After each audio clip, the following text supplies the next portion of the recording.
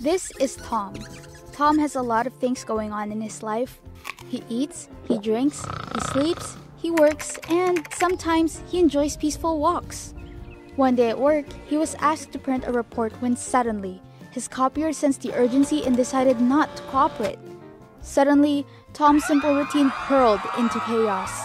And this is Bill, Tom's workmate. After seeing Tom panic, Bill told him that there are people who can show his copier who's boss and get it back to good shape. Bill shared about Digital One Systems, a one stop shop for copiers, printers, and toners.